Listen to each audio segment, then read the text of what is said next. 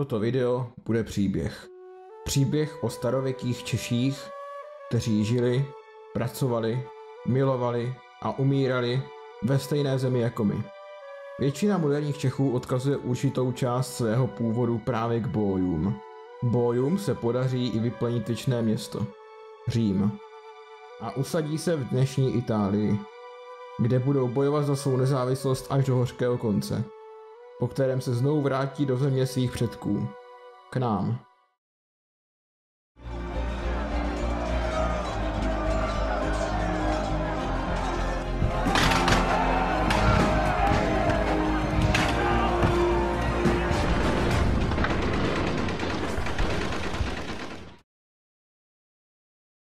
Původ názvu boj může být zvuk krávy nebo válečníka. Možná i slovanské slovo boj, tedy bitka nebo bitva, pochází ze stejného kořene. Jednalo se tedy o pastevecké válečníky. Políbius píše. Jejich bohatství se stávalo z dobytka a zlata. Byli závislí na zemědělství a válce. Jejich název vytrval i v dnešním názvu Čech. Bohemia, pocházející z germánského bojo haemum, tedy bojo plus haimas, což je starověký výraz pro moderní slovo heimat, tedy domov bojů. Bavorský název Bayern také pochází z germánského bajovarii, znamenající ti, kteří žijí, kde žijí, nebo žili bojové. Bojská sféra vlivu do sebe tedy určitě počítala Čechy a Bavorsko. Archeologické důkazy také poukazují na expanzi bojů v druhém století před Kristem do dnešní Kladské kotliny. Takže Morava, část Polska a Slovenska může být taktéž přičtena. Další důkazy o bojích pochází z Panónie, tedy dnešního Maďarska, která ale byla bojská dříve než část Polska a Slovenska. Bojskou kulturu přinášeli mladí muži, kteří se vydali na výpravu a brali si místní ženy. A vytvářeli tím nová síla, která se ale spojila se svou domovinou až po několika staletích. A v některých případech se nespojila nikdy. Místo toho vytvořili vlastní větev. A každá větev by měla vlastní příběh. Je možné, že města jako Praha, Brno, Bratislava, Budapešť nebo dokonce Bělehrad založili bojové, jen pod jiným jménem. Většina velkých měst totiž nevznikne jen tak, ale propojením několika menších osad. Například Budapešť vznikl spojením měst Buda a Pešť. Je třeba také pochopit, že bojové nebo keltové obecně nebyli jedním centralizovaným státem. Spojili se pouze, pokud v tom bylo vítězství pro všechny, nebo pokud byl v ohrožení jejich způsob života. Každý náčelník hleděl na své vlastní blaho a tedy se mohl z výpravy vrátit domů, kdykoliv uznal za vhodné. Bojové nebyli žádní barbaři. Právě naopak, byla to velmi vyvinutá středoevropská kultura, ze které i samotný Řím čerpal inovace. Barbar je totiž latinské slovo pro člověka neřímského nebo neřeckého původu. Svět by tedy v očích Římanů vypadal nějak takto. Na počátku 4. století před Kristem došlo k největší výpravě. Není jisté, jestli byla způsobena nedostatkem potravin, přelidněním nebo zvykem poslat nejmladší a nejzdravější bojovníky, aby se stali muži. Nejspíše to byla kombinace hned několika faktorů. Tak se tedy stalo a bojové překročili Alpy. V severní Itálii se setkali s dalšími Kelty. Senony, Lingony, Insubry, kteří byli původem z dnešního Švýcarska a Francie. Někteří v Itálii žili už staletí a jiní byli nově příchozí, kteří se vydali na výpravu nejspíše ze stejných důvodů jako bojové. Vytvořili tedy koalici, která chtěla získat novou půdu. Proto zautočili na město Clusium, dnešní Chiusi. Clusium bylo spojencem Říma a volalo o pomoc. Římané vyslali ke Keltům vyslance z mocné patricijské rodiny, kteří vyzvali Kelty, aby jejich spojence a přátelé nechali být. Jinak by došlo na válečné akce. Keltové dosud Římany neznali, takže by nebyli proti, pokud by jim byla přenechána půda, kterou Keltové potřebují a kterou kluzívští neobdělávají. Římané to odmítli a došlo k potyčce mezi vyslanci a Kelty. Jeden Říman dokonce probodl jednoho z keltských náčelníků. To bylo hrubé porušení přirozeného práva. Po tomto incidentu došlo k diplomatickému jednání mezi Římem a Kelty, kteří žádali nápravu. Římský senát jejich požadavky odmítl i přes nesouhlas mnoha Římanů. A to vyprovokovalo trestnou výpravu Keltů vedenou Brenusem. Nejednota v názoru na spravedlnost války, rychlá reakce Keltů a římská nepřipravenost vedla k tomu, že římská armáda nebyla připravená. Keltové se během pouhých pěti dnů objevili u břehu řeky Ália, jen 18 km od města Řím. Zdroje, které máme o této události, pochází od historiků, kteří tyto události sepsali až o několik století později. Podle výpovědí lidí. Není potom divu, že podle nich měl mít Řím až 40 tisíc mužů a Keltové až 70 tisíc. Nicméně víme, že taková čísla jsou nadsazená. A podle moderních odhadů založených na množství tehdejší populace Říma a jeho nepříliš velkému rozsahu je odhadováno číslo mezi 10 až 20 tisíci, tedy dvě až tři legie neprofesionálních milic, které byly vyzbrojené malými štíty, zbrojí a přilbou podobnější řeckým hoplitům. Nebyli to ještě ti římané, které známe s těžkým brněním, které se jmenuje Lorica segmentata a obdelníkovým štítem s názem Scutum. U Keltů je číslo taktéž rozporuplné. Podle jednoho zdroje měli Keltové přesilu, podle druhého zase ne. Dám tedy svůj odhad. 20 až 30 tisíc mužů. Keltská taktika byla jednoduchá. Házet na nepřítele oštěpy, aby byl demoralizován ještě před začátkem bitvy, a během toho nahánět nepříteli strach svým křikem, nahotou i hudbou, a pak už jen zavelet k zběsilému útoku. Někteří keltové bojovali nazí, ne protože by neměli oblečení, ale protože to je skvělý způsob, jak jim získat adrenalin. Pro zastrašení i k domluvě přesunu jednotek používali Carnix. V skutku pozoruhodný nástroj, dlouhý více jak 1,5 metru, s kančí hlavou na konci, která způsobuje otírání zvuku o vnitřek hlavy a tak vydává mocný vibrační řev.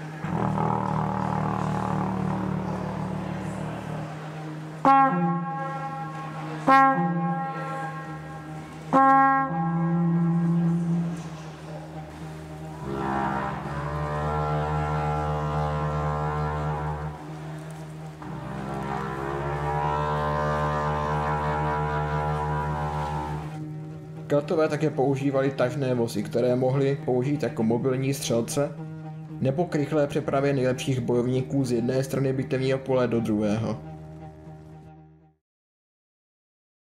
Keltové se nebáli smrti. Věřili v reinkarnaci.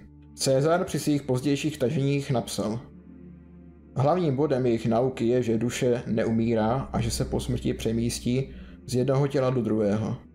S takovým přesvědčením, které ničí strach ze smrti, není těžké dosáhnout nejvyšší formy chrabrosti, která je pro člověka možná. Není také vůbec zvláštní si představit Kelta při meditaci, neboť keltské pohanství pochází ze stejného zdroje jako dnešní hinduismus. Keltové měli také ve zvyku sbírat hlavy mrtvých nepřátel. Brali to jako zdravou kompetici. A po bitvě bude hlav hodně. Bitva začala 18. července roku 387 před Kristem. Římané měli výhodu řeky. Zálohy nasadili na pravé křídlo, které bylo ve vyvýšené poloze. Keltové čekali, že Římané se zálohou obejjdou Kelty po pravém křídle a padnou jim do boku. Tak tedy poslali nejlepší bojovníky na pravé křídlo, aby zautočili na vyvýšenou pozici záloh a znemožnili jim tak obejít pravé křídlo. Keltové zautočili po celé linii. Tehdejší prameny tvrdí, že keltské meče neměly žádný problém s usekáváním římských kopí. A když se Keltové probili přes střed a zautočili na obě křídla, tak římané spanikařili. Spoustu se jich utopilo a ti, kteří nestihli utéct, byli nemilosrdně pobyti. Půlka římské armády byla zničena, zatímco Keltové přišli nejspíše jen o pár set mužů. To, co Římu zbylo, bylo skřídel. Levé křídlo uteklo do města Veji a ani neposlalo zprávu, v jakém jsou stavu. A pravé křídlo uteklo do Říma, kde se ani nesnažili vytvořit obranu města. Místo toho utekli na kapitolský pahorek, na kterém byla pevnost. Na Pahorek utekli také senátoři a bohaté rodiny. Město bylo opuštěno, až na staré muže, kteří se oblékli do svátečního na ukázku klidného vzdoru. Když druhý den Kelti vešli do města, tak zpočátku byli klidní. Ale jeden ze starých Římanů uhodil Kelta, který ho provokoval. Ten ho za to zabodl a to brali ostatní jako spouštěč vyplnění města. Obléhání kapitalského pahorku pokračovalo dlouhých sedm měsíců. Keltové se pokusili na pahorek vylézt. Na Kelty ale upozornili stráže Junoniny posvátné husy. Keltové už měli obléhání dost, protože měli nedostatek jídla a když si šli jídlo získat jinam, tak je římané přepadli. Také podnebí bylo pro Kelty moc horké a spousta náčelníků se chtěla vrátit k rodinám. Mezitím byla obrana kapitolu také na pokraji vyhladovění. Tak se obě strany shodly na tom, že Keltové opustí Řím, když je vyplatí. Cena byla sjednána na tisíc liber zlata. Keltové při vážení použili těžší závaží. Když proti tomu Římané protestovali, přihodil senonský náčelník Brennus k závažím ještě svůj meč, se slovy Vae Victis, což znamená běda poraženým. Podle římských zdrojů byla kelská armáda poražena na cestě domů. Jiné zdroje o ničem takovém nepíší. Je pravděpodobné, že si římané tuhle temnou část jejich dějin přikrášlili. Mohlo by se zdát, že tohle bude pro mladou římskou republiku konec. Nicméně, Řím si zvolí diktátora, který urychlí obnovu Říma i reformaci armády a v příštích staletích se Řím rozšíří na jich proti svým italickým bratrancům. Získá tím nové lidské zdroje, nové pláci daní a vytvoří si profesionální armádu. Novou výzbroj i taktiku okopírují od těch takzvaných barbarů. Bojové se poté usadili ve starém etruském městě zvaném Felsina, kterou přejmenovali na Bononii, což je dnešní Boloňa. Bojové nevyvraždili ani nevyhnali ani nezotročili původní obyvatele, na rozdíl od toho, co tvrdí římské zdroje, protože to je paradoxně to, co by oni udělali. Bojové se spíše stali součástí obyvatelstva, skrz sňatky s místními ženami. O tom svědčí i nálezy z místního hřbitova, patřící etruské ženě, která byla ověnčena cenoství typickými pro tehdejší střední Evropu, které ještě více potvrdili, že původ bojů byl v dnešním Česku a nikoliv naopak. Polybius popisuje keltský způsob života v severní Itálii takto. Žili v neopevněných vesnicích, bez jakéhokoliv nadbytečného nábytku, protože spali na lůžkách z listí a živili se masem. A zabývali se výhradně válkou a zemědělstvím. Jejich život byl velmi jednoduchý a neměli žádné znalosti o jakémkoliv umění nebo vědě. Jejich majetek se stával z dobytka a zlata, protože to byly jediné věci, které sebou mohli nosit. Všude podle okolností a přesunu, kam si vybrali. Přátelství považovali za nejdůležitější. Z tohoto popisu můžeme krásně vyčíst keltské hodnoty. Pohodlím opovrhovali. Nestavili si hrady, protože to by jim dalo pocit bezpečí, a tedy i důvod ke ztrátě tělesné kondice. Znalosti určitě měli, ale záměrně to s technologií nepřeháněli. Nikdy se totiž nechtěli pustit do písma, protože věděli, že by to vedlo jen ke složitějšímu účetnictví a centralizací moci k někomu, kdo ani nežije mezi svými lidmi. Keltové ani neznali pojem otroctví. Věřili, že každý člověk je svobodný. O tom všem, co jste se zatím dozvěděli, Nezdá se vám, že ti tak moc velcí barbaři byli vlastně mnohem civilizovanější než ten vzor civilizace zvaný Řím? Celé století se, se Řím připravoval na zničení Keltů. Šarvátky mezi Kelty a Římany byly neustále. Některé Řím prohrál a jiné zase vyhrál. Ale pokaždé se poučil ze svých chyb. Teprve když byl domov Senonů, kmene Brenuse, který vedl Kelty u Álie, vypleněn, a na jejich zemi nastěhování římští osídlovatelé, tak se jejich sousedé bojové lekli a vytvořili spojenectví se zbývajícími svobodnými Etrusky. A společně se rozhodli čelit Římu v bitvě u jezera Vadimo. Římský vojenský gigant byl ale nezastavitelný a Etruskové byli zcela zničení. Pouze Podium se podařilo uniknout a poté požádali o mír, zatímco byli všichni Etruskové anektováni. Mír z Kelty přišel pro Řím ve správnou dobu, pouze o pár let později propukne první punská válka, ve které Řím ještě více upevní svoji moc. Keltové si postupně uvědomovali, že pokud se všichni nespojí, tak jim Řím nejenže vezme jejich svobodu, ale i jejich zemi. Bojové byli poslední velký kmen v severní Itálii a povolali všechny své sousedy, i Kelty mimo Itálii, aby jim přišli na pomoc. Přišli mnozí a keltská armáda pod vedením bojů čítala 70 tisíc mužů, kteří se vydali na jich, se setkali s jednou římskou armádou u Faesulae, na kterou přichystali léčku, když nechali tábor hlídaný pouze jízdou. Římané si nejspíše řekli, ha, hloupí keltové, na ně.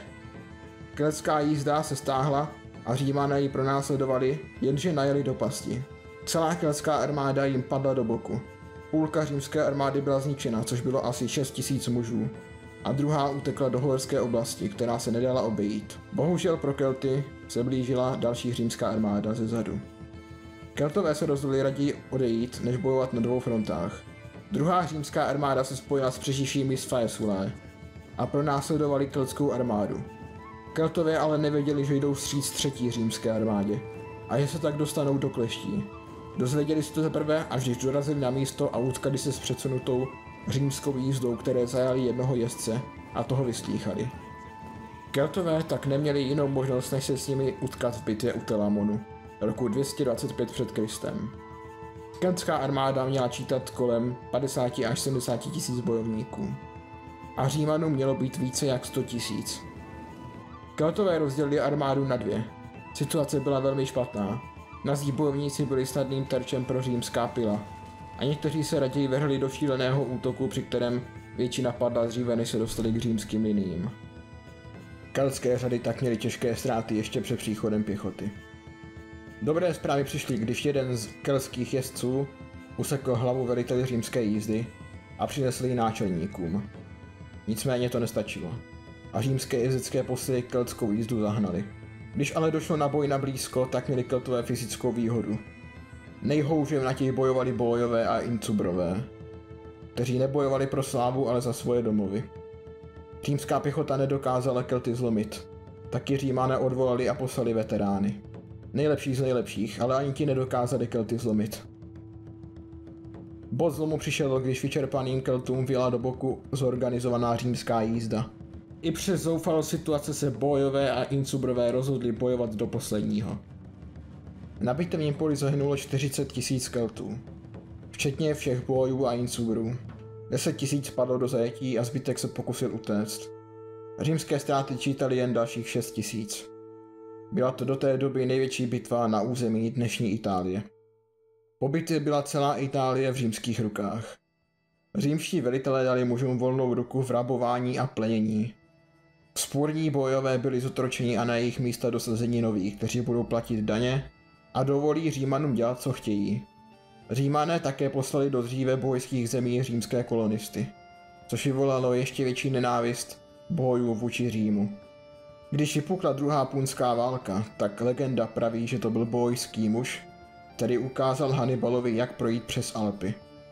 Bojové se přidali na stranu Hannibala a bojovali s ním snad ve všech bitvách. Byli to bojové, kteří u Kán přinesli hlavu římského generála Hannibalovi. Když byl Hannibal v jižní Itálii, tak se bojům podařilo zničit celou římskou armádu. V jejich domovině, která procházela lesem, v bitvě u Litánského lesa, roku 216 před Kristem. Bojové pokáceli stromy na obou stranách lesa, aby římané neměli kam utéct a ještě je nechali spadnout na římské formace. A pak na ně naběhli z obou stran. Řím přišel o všech 25 tisíc vojáků.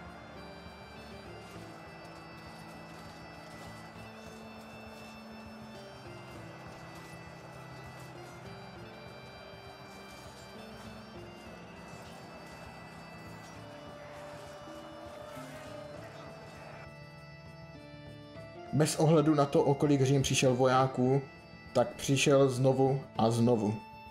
Po ukončení druhé půlské války v roce 201 před Kristem se už Řím mohl soustředit pouze na potlačení bojů. Trvalo to ještě 10 let, než se Římanům podařilo potlačit všechny spůrné boje. Velká část bojů se rozhodla odejít do země svých příbuzných, aby začali nový život. Nejvíce jich přišlo do území dnešního západního Slovenska a Moravy kde nově příchozí pomohli rozvoji měst a ekonomiky. O několik staletí později se stanou součástí nových českých států, které vytvoří noví přistěhovalci, kteří založí nové osady vedle těch, které založili bojové. Zpočátku mezi nimi bude přetrvávat nedůvěra, ale po několika generacích si už nebudou pamatovat, kdo přišel odkud.